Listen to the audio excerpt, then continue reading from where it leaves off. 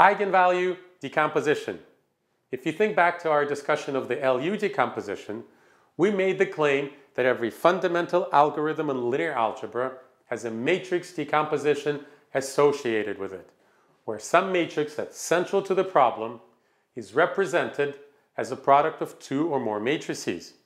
So what the LU decomposition is to Gaussian elimination, the eigenvalue decomposition is to the eigenvalue algorithm, and the entire study of eigenvalues and eigenvectors. And it has enormous practical and conceptual applications. And it's breathtakingly beautiful too. But going back to practical applications, how's this for an example? Every time you do a Google search, Google computes a singular value decomposition problem. And the singular value decomposition, which we will study towards the end of the course, can be considered either a special case of the eigenvalue decomposition or a generalization of the eigenvalue decomposition. But in any case, it's very closely related to the eigenvalue decomposition. And Google doesn't just do it for 3 by 3 matrices like we have here or 10 by 10, more like 3 million by 3 million matrices or even larger. And it does it very fast, very well, and with spectacular success. And it's probably even true that we now solve more eigenvalue decomposition problems in a day than all of the other decompositions in linear algebra combined in all of the history of science. I wonder if that's true. It probably is, thanks to Google. So let me show you what the eigenvalue decomposition is. So suppose we have a matrix, and I chose a matrix for which we can easily determine all of the eigenvalues and all but one of the eigenvectors. Not that it's important for this discussion. So here they are. All of the rows add up to 7, so one of them is 7, and the corresponding eigenvalue is 1, 1, 1. All right. Another one, of course, is 4, because it's alone in its column, and it's on the diagonal. So the corresponding eigenvector is 0, 0, 1. And then from the trace, you can easily determine that the remaining eigenvalue is 3, and I had to do Gaussian elimination to determine this eigenvector. So now we have the full collection of eigenvalues and eigenvectors. And first we'll only talk about eigenvalue decompositions for matrices that do have a full set of eigenvalues and corresponding eigenvectors, as many linearly independent eigenvectors as the dimension of the matrix. All right? So what are we going to do with these eigenvalues and eigenvectors? Well, let's first capture the statement that these are indeed eigenvalues and eigenvectors algebraically. And that means that A times this matrix equals 7 times the matrix, or vector, but we're going towards thinking of vectors as matrices, but let's say vector for now. A times this vector is 4 times the input vector, and finally, A times this vector is 3 times that vector. That's the algebraic expression for the statement that these are the eigenvalues and eigenvectors. So we captured those properties in three mixed matrix vector equations. Let's call these vector equations. And let's set it as our goal to convert these three vector equations into a single matrix equation. Matrices are good at very many things, but one of them is compacting and organizing the information as succinctly as possible. So why capture something with three different equations when we can capture it with a single matrix equation? So you should pause the video and address this challenge.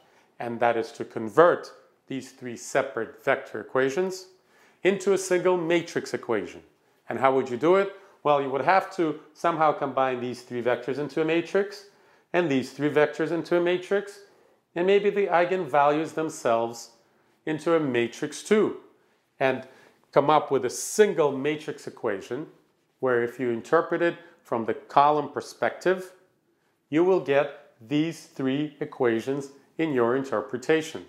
So pause the video, try to do it on your own. Meanwhile, I'll do it on the board right here. And when I write A, of course, I'm in this matrix. I just didn't want to repeat this matrix several times. So continue to use A whenever you mean this matrix. So here's what it'll be.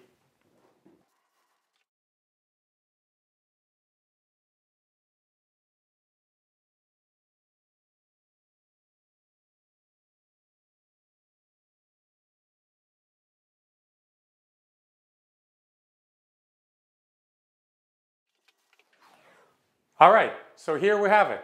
What I did was organize the eigenvectors into a matrix.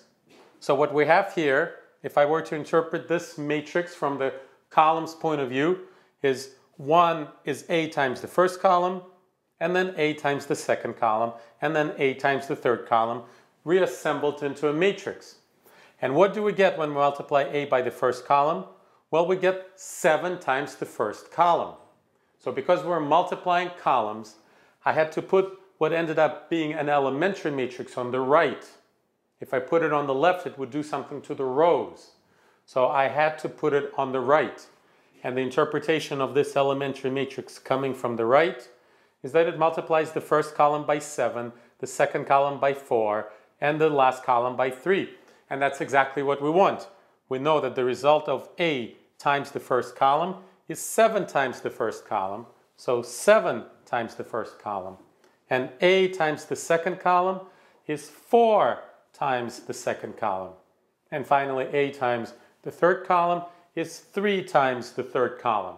So indeed, this one matrix identity does capture these three vector identities in a single equation. And what's very nice is that this matrix that consists of the eigenvectors as its columns appears twice, once on the left and once on the right. Of course, we can't cancel it because it's once on the right, excuse me, because on the left-hand side it appears on the right of the product and on the right-hand side it appears on the left of the product. So even if you try to multiply both sides of this equation by the inverse of this matrix, you won't be able to get them to meet on both sides. If you multiply by the inverse of this matrix on the left, it'll cancel this one but not this one. And if you do it on the right, it'll cancel this one by not this one. So it's one of those wonderful things having to do with non-commutativity of the matrix product. And this challenge was actually a very good exercise in matrix multiplication. And it's great, great that you had that practice. So now let's give these matrices some names and see what we have. And we'll actually will be multiplying both sides by the inverse of this matrix. So let's call it X, capital X, and then capital X appears on the right hand side as well. And here's capital X again. And this matrix is full of little lambdas. So it gets the name capital lambda. Capital Greek letter lambda, which is typically written like this, or maybe without these little footstools. All right, so let's now write algebraically what we have. What we have algebraically is a x equals x lambda.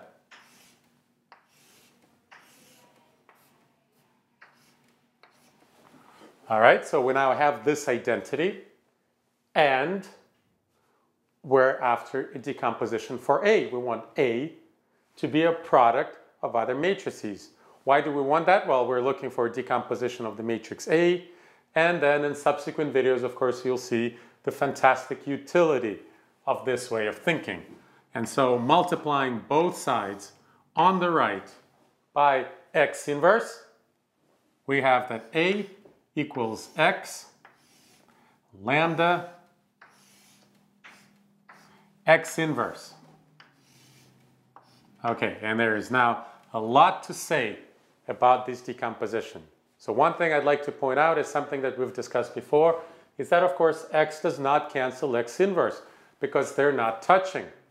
If you wanted them to touch, you would have to switch the order of these two matrices or these two matrices. And of course, that would change the result. It's an invalid operation in linear algebra. This matrix is right now multiplying the columns of x, but if you were to switch them, it would scale the rows of x, totally different thing. So you cannot switch matrices. So these matrices do not cancel. And we have seen this before, of course. This is a similarity transformation of the matrix lambda. In fact, we have constructed these sorts of things several times before, and we have now arrived at the same sort of thing from a completely different angle. But we will now be able to answer some of the questions that we were not able to answer before. and I think I will save that discussion for in another video where this eigenvalue decomposition will be our starting point. point, and there is a whole lot to say about this decomposition.